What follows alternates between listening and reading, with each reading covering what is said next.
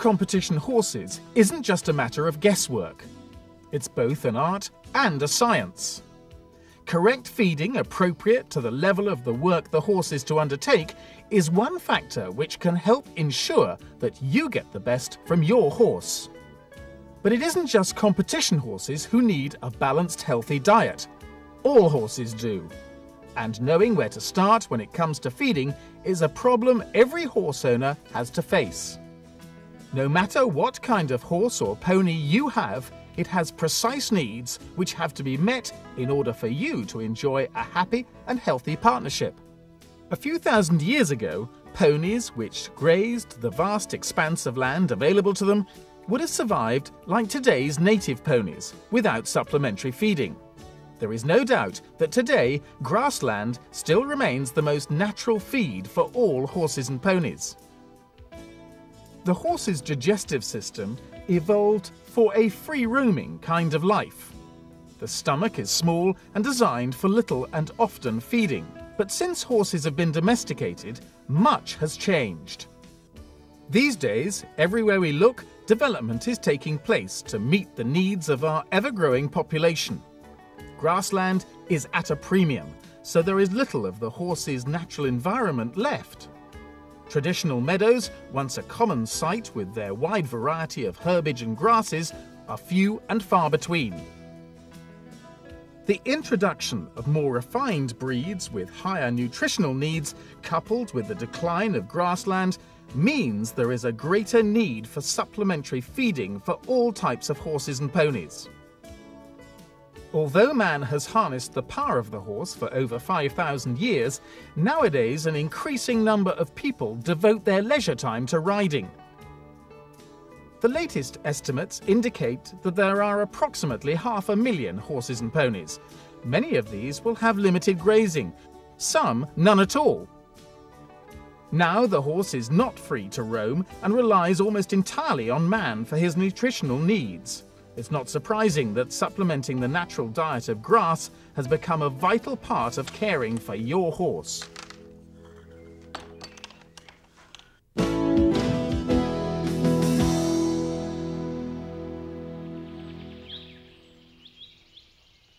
Every horse and pony is an individual with different requirements, and it is our responsibility to ensure these are met. In the distant past, the horse was in control of what he ate. Now he is domesticated, we have to decide what he is given. We can see just how horses differ. Horses not in work will generally be best maintained on a high forage, low compound diet. This is particularly true of the native type ponies who convert nutrients very easily into fat. Horses in hard work will require a significantly increased level of compound feed in order to meet their energy needs.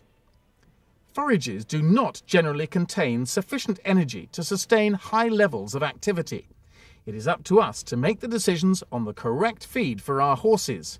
And this is where the art of feeding truly comes into its own.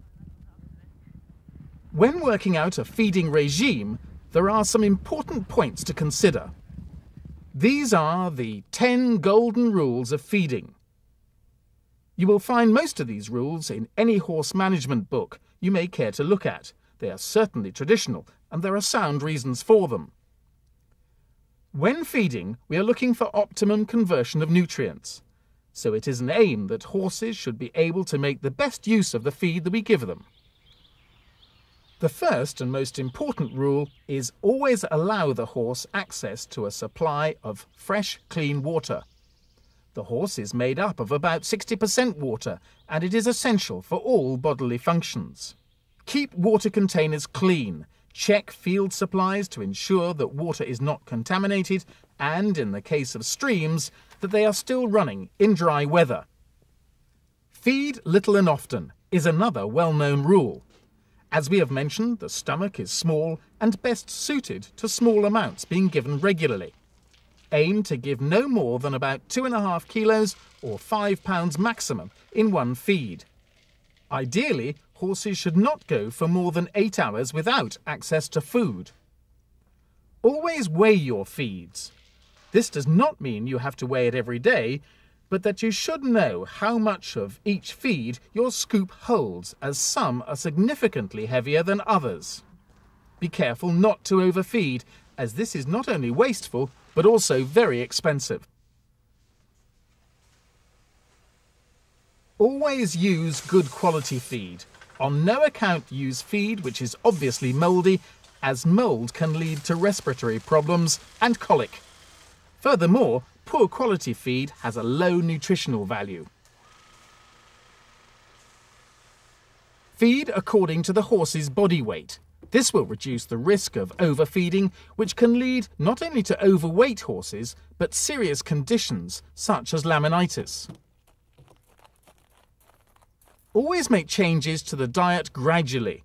Allow 7 to 10 days when making significant changes to the diet.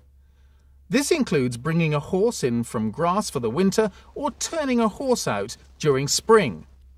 This allows the microbes in the hind gut to establish and become accustomed to the new type of feed. Feed your horse according to the work he is doing, not the amount of work you expect him to do. Horses should be fit enough to undertake the work expected of them, and giving them extra high energy feed, perhaps the day before a competition, will not make them any more likely to win. Delay exercise after feeding. Like us, the horse's lungs function better when he has not got a full stomach. If the horse is going to be working hard, about three hours should be allowed between feeding and exercise. But for light hacking and slow work, an hour is generally advised. Feed plenty of forage. You have already seen that grass is the most natural feed for horses, and hay or other forages substitute fresh grass in the winter. It helps to keep horses occupied during the long hours in the stable, and the fibre contained in the forage is important to keep the gut content open and moving. Fibre holds water in the hindgut and can help prevent dehydration in horses involved in prolonged exercise, for example, endurance riding. The horse is a creature of habit, so routine is important. He'll be waiting in the morning even if you want to lie in, so try to ensure you feed at the same times each day. While you are the best person to decide how your horse or pony should be fed, there are many factors which will determine how individual horses and ponies' diets should be made up. One of the main considerations is the breed and size of the horse. Sam here looks as if he is twice as big as Beauty, so you might think he would eat twice as much food. But as a general rule, energy requirements decrease slightly with body weight. So, per 100 kilos of body weight, large horses need less food for maintenance than ponies. As we said earlier, native ponies need less food to keep condition than thoroughbreds. That's not just to do with the level of work that's required of them, they are just good doers. They have evolved to make the best of summer grazing and build up fat stores so that when supplies are limited in winter, they have reserves to see them through to spring. Next, we need to consider the rider's ability when determining feed requirement. A novice rider may, first and foremost, need a very calm mount, whereas a more experienced rider might be placing more demands on the horse. Of course, the level of work you expect from your horse determines the energy he will need from his food. For prolonged, slow work, a low energy feed may be best, whereas for faster, short bursts, the horse will need a high energy, cereal based feed. The age of the horse can significantly affect the diet it should receive. The feeding of young horses is worthy of a video of its own and is beyond scope here. However, young growing horses will need plenty of high quality protein in order to develop into healthy animals with a strong skeleton. The energy requirements of mature horses in work will increase manyfold according to the work being done, but the protein requirements will remain relatively low. Approximately 10% of the horses in Britain today are over 15 years old. For most of these horses, a special diet will not be necessary. However, requirements can change with advancing years, so if older horses have difficulty holding condition, they should be given a diet of higher feed value. Protein can play an important part, so a proportion given as stud cubes or breeding mix is ideal. Where they have difficulty eating hay, a high fibre cube may be soaked and used as a total or partial hay replacer. It's also important to assess the horse's condition. You may need to adjust the feeds if your horse is under or overweight. Energy in horse feed is measured in calories, and those not burnt up in work lead to an increase in condition. And finally, consider your horse's temperament. There is no point feeding high energy feeds to a fizzy horse, as it may make it worse different animals can respond differently to cereal feeds, and although this may be a matter of trial and error, it's worth getting it right.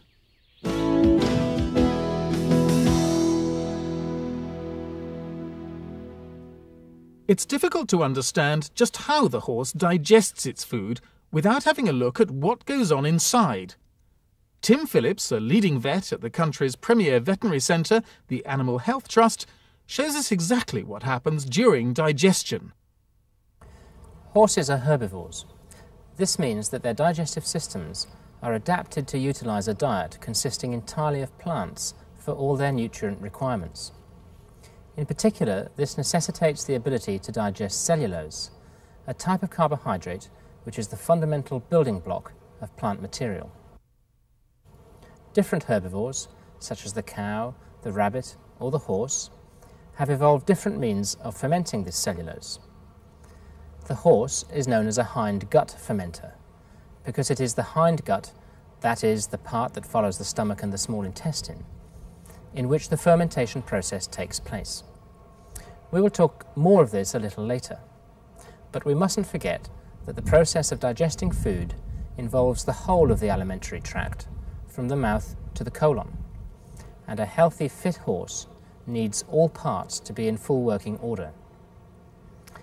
Food is taken into the mouth by the actions of the very strong muscular lips and the incisor teeth, which clamp on to grass or hay in a hay net. The food is then torn off by movements of the horse's head. Once in the mouth, chewing or mastication occurs. The actions of the tongue and the jaws churn the food round so that it gets ground between the surfaces of the cheek teeth, or molars. The jaws of carnivores, say dogs, only move up and down.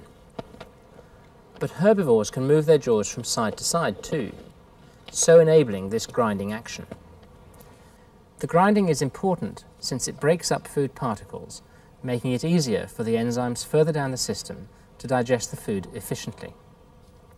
As you can see here, each cheek tooth is set so close to the next that there is a continuous surface from tooth to tooth, both on the lower jaw and the opposing upper jaw.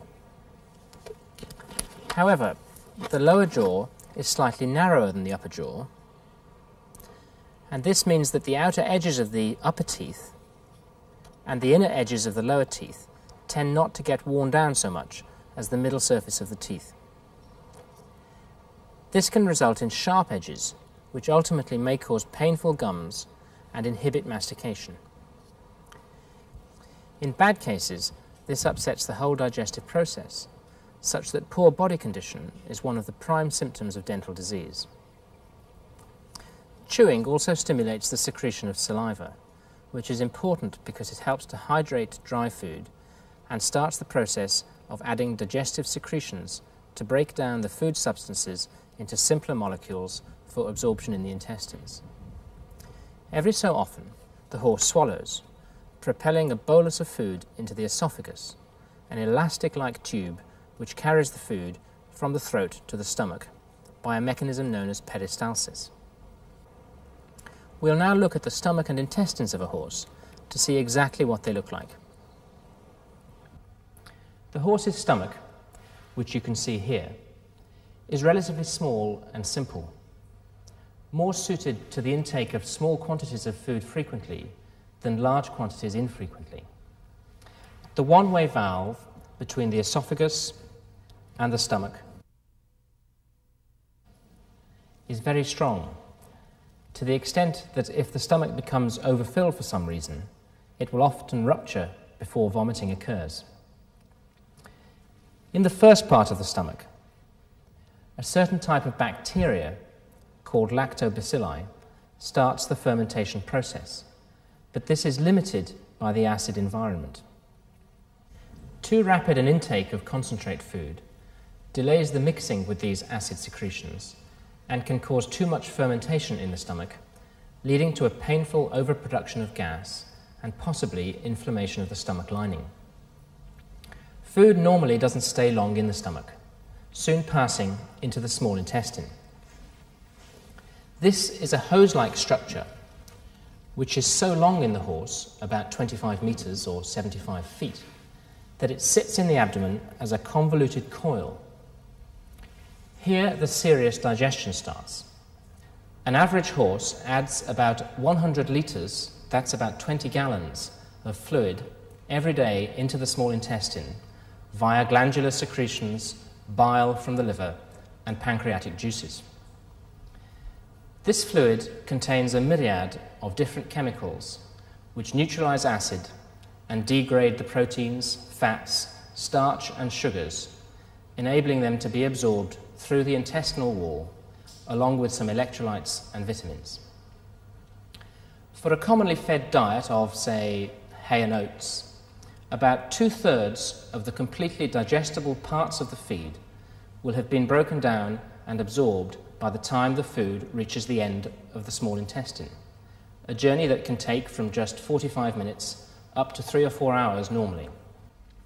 The last segment of the small intestine is called the ileum, and this marks the junction between the small intestines and the cecum through the ileocecal valve. The cecum is the first part of the large intestine, which is the specialized fermenting unit of the horse's gut. The difference between it and the small intestine is that here the digestion of residual carbohydrates and proteins that have not been dealt with by the small intestine depends upon the activity of a multitude of living organisms, such as bacteria and protozoa, collectively known as microbes. These are able to break down the less soluble carbohydrates, such as cellulose, into volatile fatty acids, and these acids are then used as a vital energy source for the horse. About once every two to three minutes, the cecum undergoes a coordinated expulsive wave to empty its contents into the large colon. This is the noisiest part of gut movement and can often be heard just by standing next to the horse. The large colon is a huge structure, about 4 metres long and up to 130 litres in capacity. In fact, it is so big that in order to fit into the abdomen, it has to become folded on itself to form a number of hairpin turns called flexures. One of these, the pelvic flexure, is a common site for impaction or blockage of food material. As well as fermenting the more fibrous parts of the diet, the large intestine is critical in recovering the massive amount of water that is secreted into the gut in the process of digestion. Failure of this function can quickly lead to dehydration. So, all in all, you can see that the health of your horse's population of microbes in its hindgut is integral to the health of the whole horse. This has a number of implications in feeding management. For instance, the proportion of different types of microbe adapt to the constituents of a particular diet. That is why any changes in diet, especially increases in concentrates, should be introduced gradually over several days. Otherwise, indigestion, shown by colic or perhaps diarrhea, may occur. Furthermore, roughage or forage should never fall below about one third of the total weight of the daily food intake, even in high performing horses. Sudden overloads in soluble carbohydrates like starch that are found in concentrate feeds or in lush grass may overload the small intestine, leading to an abnormal quantity reaching the large intestine. This can result in the overproduction of lactic acid, causing inflammation of the gut lining, which then loses its protection against bacterial toxins, allowing them to enter the system. Perhaps the best known consequence of this is laminitis. The common horse parasites, roundworms or tapeworms, invade the gut wall, usually around the small intestine and large intestinal junction. This leads to disruption of the normal digestion absorption processes, and again to a number of possible effects, usually malnutrition. Finally, the horse's dependence on its large intestinal microbial inhabitants is one reason why prescribing antibiotics to a horse is not as straightforward as it is, say, to dogs or even humans. Most antibiotics will wipe out these helpful organisms as well as the ones causing the infection being treated, so causing unacceptable digestive disturbances. Transit time in the large intestine takes a day or more, but eventually the ingesta reaches the small colon. Here, feces are formed by further water resorption, leaving only the indigestible fibre material to be expelled as droppings through the rectum and anus. So let's go back now and open up the stomach to see what the food looks like once it has passed down the esophagus.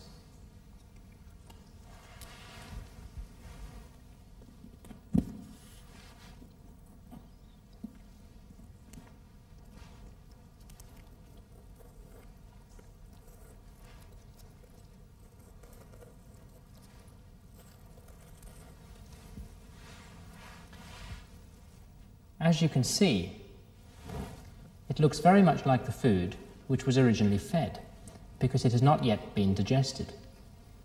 Moving on now to the small intestine, it looks quite different.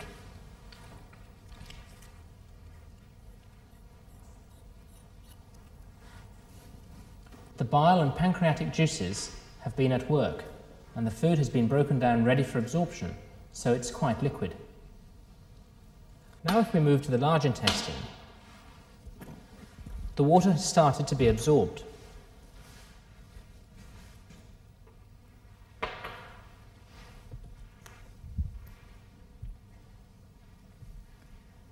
And you can see that the material is becoming drier and starting to resemble the feces that we see expelled by the horse. Finally, in the small colon, this is where the feces are formed.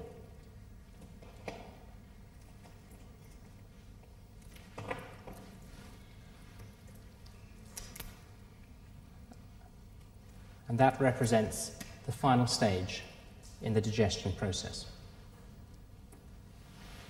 So you can see, the gut is a very complicated organ which hasn't changed significantly since horses ran wild on the plains.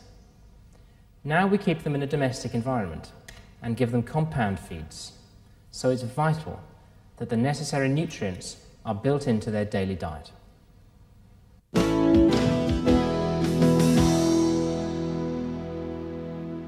We have seen how the horse digests its feed, but what are the vital nutrients essential for life? Ruth Bishop, nutritionist for Spiller's Horse Feeds, explains what they are and what they do. Contrary to popular belief, given a free choice of foods, the horse doesn't naturally select what is best for it. Like us, it will select the tastiest ingredients, but these don't necessarily add up to a balanced diet. The first essential nutrient is water, as we've seen. The next most important nutrient is not protein, as you might think, but energy. Horses must be fed to meet their energy requirements before all others. Energy, which may also be thought of as calories, is needed for maintaining body heat, retaining condition, growth, lactation, and work. In fact, requirements for protein and certain minerals are related to the energy level, so it is important to get energy right first. The form of energy we talk about for horses is digestible energy, or DE. All feeds, with the exception of mineral and vitamin supplements, are sources of energy. Just how much depends on a particular feed. The energy in each ingredient is derived from the carbohydrate and fat content. Compound feeds offer a combination of both these energy sources. There are two main types of carbohydrates structural carbohydrates and non structural carbohydrates.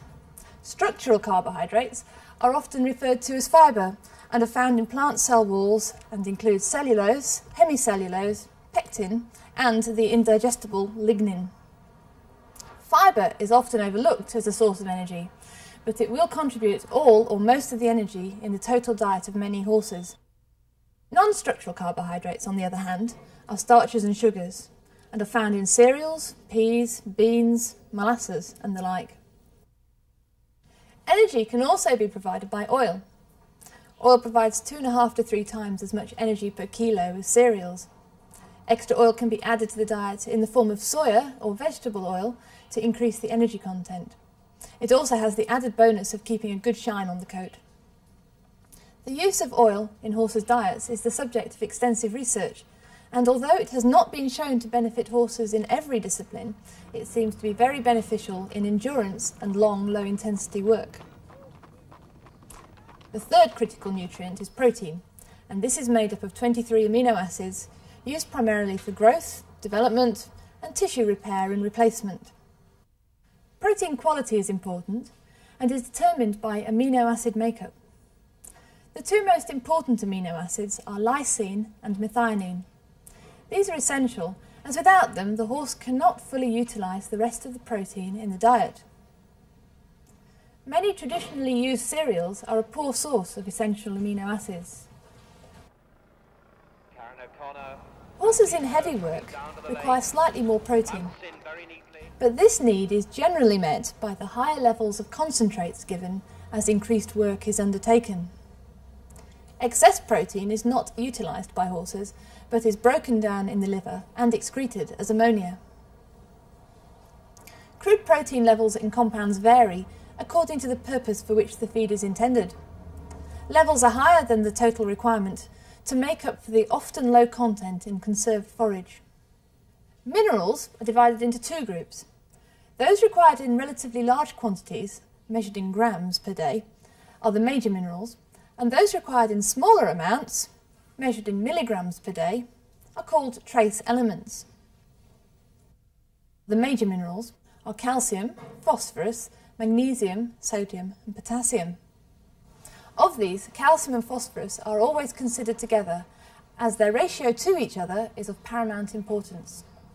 Both are essential for bone formation and to maintain skeletal strength. One and a half to two parts calcium to one part phosphorus should be provided in the diet.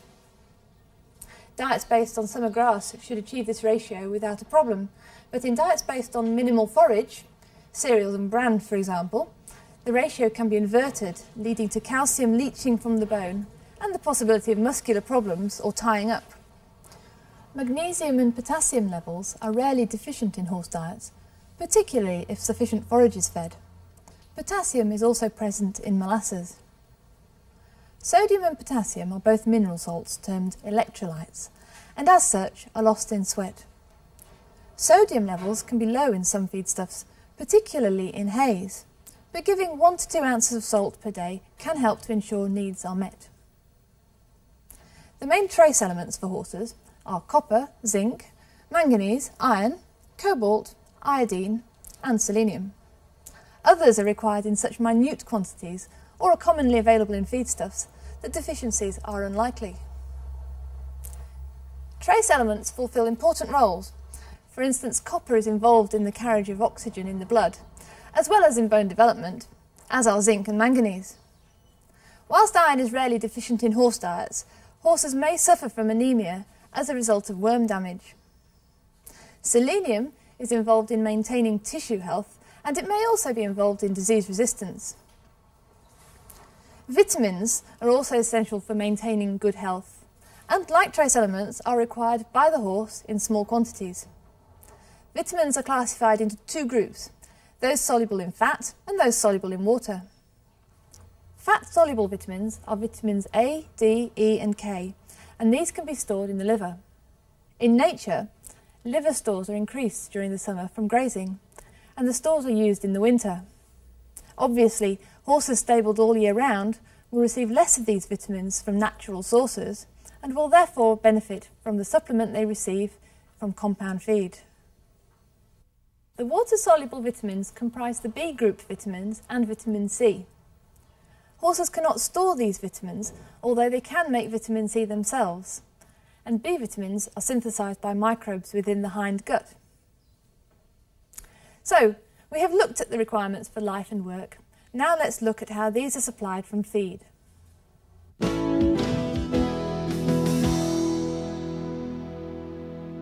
We have seen how science relates to feeding. Now we are going to have a look at the practical aspects of feeding and choosing suitable feeds to meet the animal's requirement. Anne Marshall is product manager for Spiller's Horse Feeds, so has plenty of experience in these matters. Even though the horse's primary food is grass, as we've seen, there are still times when he won't receive enough nutrients just by grazing. So now we'll look at some cereals and raw ingredients and see what extra nutrition they provide. First we'll look at oats, the most traditional feed for horses. Oats are easily digested as the husk is soft and they're high in fibre. They may be fed whole, but are more usually bruised or rolled. Once rolled, they should be used fresh, as vitamins are lost when the husk is broken. Oats, like most straights, can vary significantly between samples. For instance, they may contain between 6 and 13% protein and 11 to 13 megajoules of energy, depending mainly on the conditions in which they were grown and stored. It should also be noted that all oats are a poor source of quality protein, as they have a low lysine content. In common with other cereals, the calcium to phosphorus ratio is reversed. Therefore, they should be fed with a calcium supplement, or better still, a specific oat balancer. Now we'll take a look at barley. Unlike oats, barley should not be fed whole as it has a hard husk which needs to be broken to make the grain digestible. It may be fed rolled, but is more commonly cooked in some way to make it more digestible. Steam cooking or micronizing are both equally effective treatments, or it can be extruded or even boiled in the good old-fashioned way. It may be worth mentioning here that oats are thought to be more heating than barley. Barley, in fact, is higher in energy. However, a significant fact to bear in mind for those who may feed by the scoop and not by weight is this. You can easily feed up to a quarter more energy in a scoop of lightly rolled oats than in a similar scoop of cooked flake barley. The oats weigh one kilo, while the cooked flake barley weighs only 750 grams. Another cereal to mention is maize. Maize is not grown as a cereal crop in the UK. You may see it being grown, but that's made into silage for cattle. Maize grain is, by anyone's standard, a high energy feed. It has approximately 16 megajoules of energy and contains about 70% starch. For this reason, it should always be fed with care. It's relatively low in total protein, about 8 to 10%, the quality of which is poor. Wheat is never used as the whole cereal in horse feeds, as it is hard to digest in large quantities. It may be used as part of the ration when cooked and flaked, or as a component of compound feed. However, a byproduct of wheat milling, bran, is commonly used. Bran is the outer husk of wheat, it's thought of as a high fibre filler, but its energy level is only slightly lower than that of oats, and approximately 15% crude protein, though this is of low quality. In addition, the calcium to phosphorus ratio is totally the wrong way round 10 phosphorus to 1 calcium. And the practice of mashing horses once a week is falling out of favour, as this is seen as being on a par with a rapid change in diet, something to be avoided if possible. Sugar beet pulp is another byproduct, this time of the sugar refining industry. It's high in digestible fibre and has a reasonable energy level, but is only safe to feed once it's been soaked, and then it contains about 80% water in total. It's available as shreds or pellets and should be well covered with water and soaked for 8 to 12 hours before use. In summer, it should not be soaked for longer than this, as it will ferment easily in warm weather. Now we'll look briefly at some other ingredients which may also be used. This is soya meal, which is the residue left after oil extraction, and this is the best source of vegetable protein. It contains 44% protein with a high lysine content. It's widely used in stud and young stock diets. Traditionally, linseed has been used as a protein feed, though the quality of protein is not especially good. Linseed is the seeds of the flax plant, and in their raw state are poisonous, but boiling makes them safe and produces a jelly. After oil extraction, a cake like this is produced, which may also be used. It may be worth mentioning animal protein here, as on occasions people ask about its use in horse feeds. Spillers never use animal protein in their horse feeds. So these are most of the available straight feeds which may be used as they are, but they're also used in a variety of combinations in compound feed, which we'll have a look at a little later. First though, as forage makes up the bulk of any horse's diet, we need to have a look at what's available to us. Ruth. Thank you, Anne. When we talk about forage, we mean bulk feeds such as grass and hay, and there are quite a large range of products to choose from. Hay is the most popular forage for horses. Commonly, there are two distinct types seed hay and meadow hay. Seed hay is coarse and stemmy and is sometimes described as hard hay. It is grown from fields specifically sown with seed mixes of ryegrass and or timothy. This sample is of ryegrass. Meadow hay is softer and contains more leaf. It is comprised of a wider range of grasses harvested from permanent pasture and is generally of higher nutritive value than seed hay and it is often preferred by horses. A common problem with hay is that it can contain mould spores and dust particles, which can cause respiratory problems. Hay which is evidently dusty, such as this lovely stuff, should not be used. To be on the safe side, you can soak hay for an hour or so. This will stick the dust particles to the hay, preventing them being inhaled. It is not necessary to soak hay for much longer than an hour, as nutrients are lost and the water becomes polluted. A good and popular alternative to hay is haylage. This is grass which has been cut like hay but is only dried for about 24 hours. It is known generally as semi wilted forage and contains about 55 to 65% dry matter. It is double wrapped and sealed in polythene where it undergoes limited fermentation. It is particularly suitable for horses with dust related allergies or where owners wish to limit their horse's exposure to dust as any dust particles on the grass are stuck to the stalks, preventing their inhalation by the horse. Once opened, bales should be used within four days, as mould can quickly develop once the product is exposed to the air. Silage, which is similar to haylage and made in clamps or big round bales, usually has a higher moisture content and is often of higher feed value. Unlike much commercially produced haylage, it may not be subject to the same strict quality control during manufacture. Oat straw is a good alternative when hay is expensive or in short supply. Barley straw can also be used, and both can have similar feed value to late cut seed hay. Any shortfall in feed value can be made up by an appropriate supplement or compound feed. If you want to add more fibre to your horse's hard feed, you can use any one of the chaffs that are available. If you rely on grazing as the sole forage for your horses, especially during the summer, it is important to keep the pasture clean and well maintained. This means topping the grass to keep it no more than three to four inches high and picking up the droppings regularly to reduce the risk of worm infestation and to keep the grass sweet. Remember though, not all horses have plenty of grazing, and those that can't get out in the field on a regular basis should be fed something succulent in each feed. Sliced carrots and apples are always very popular. So we've looked at the straight ingredients and forage, but what we need to do now is look at some individual horses and the various compound feeds that are available to us, and work out the best diets for the different types.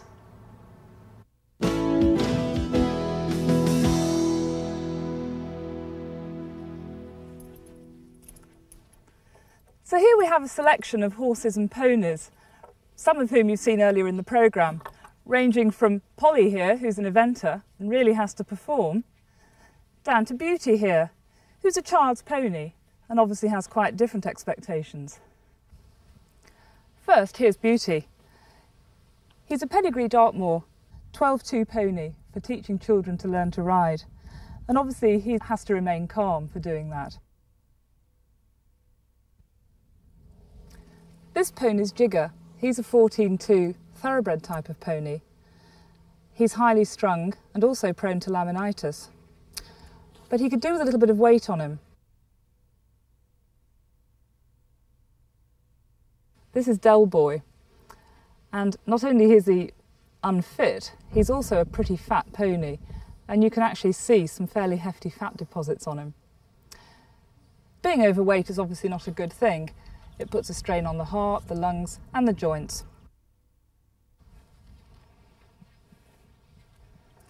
This pony's Socks. She's a Welsh pony used for all pony club activities and also for showing. And like any Welsh pony, she's a very good converter of forage. And that's how she derives most of her energy.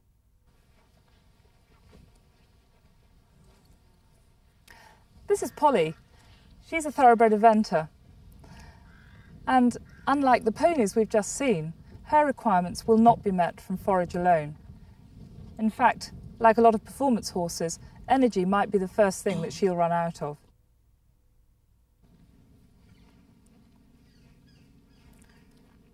Our last horse is Sam. He's really used for, for leisure. He's, he does quite a lot of hacking and the occasional lesson, so his energy requirements are quite low. So we've seen a good cross-section of horses and ponies, and they will all have quite different feed requirements. So how do we decide what is best? We have the choice between feeding straights, like oats, bran and sugar beet for example, or we can go for a compound feed. The advantage with compound feed is that we know exactly what we're giving our horse, from the amount of energy down to the last vitamin and mineral.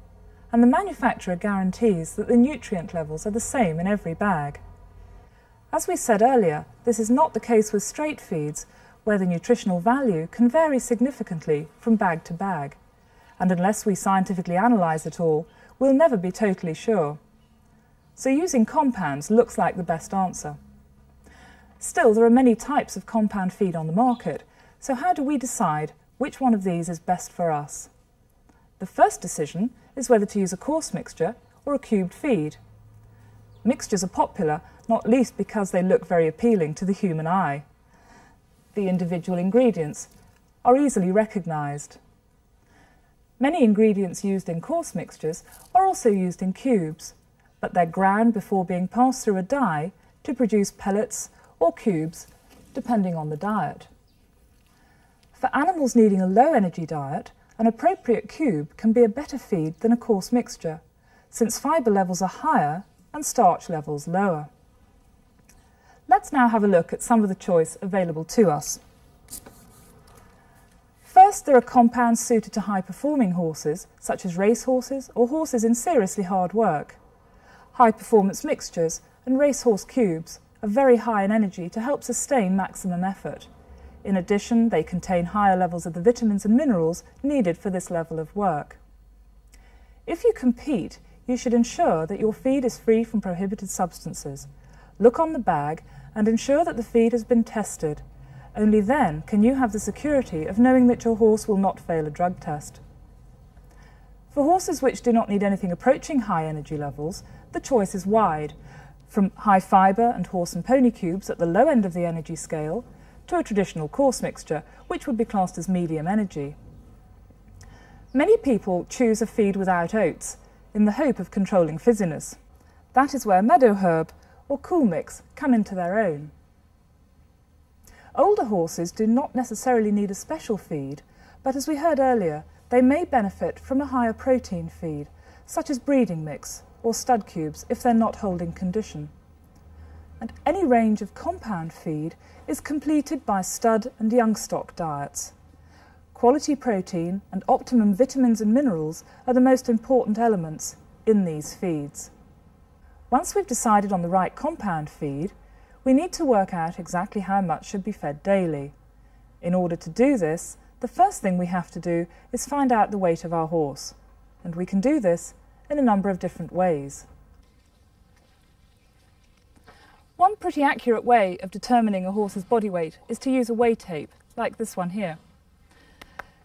Weigh tapes do vary a little bit from one to another, but we'll see what this one says.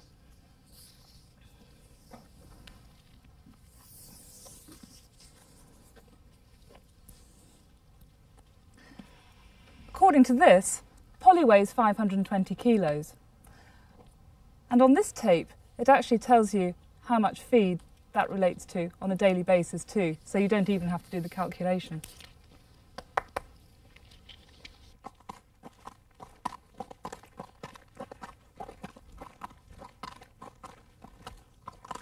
Thanks, Joe.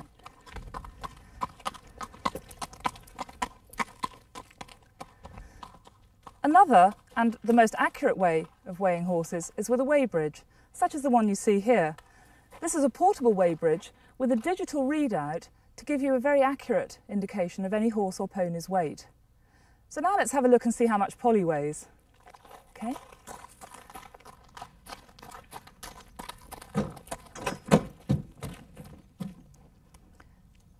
You can see that Polly weighs 506 kilos on the weigh bridge as against 520 kilos when measured with the weigh tape.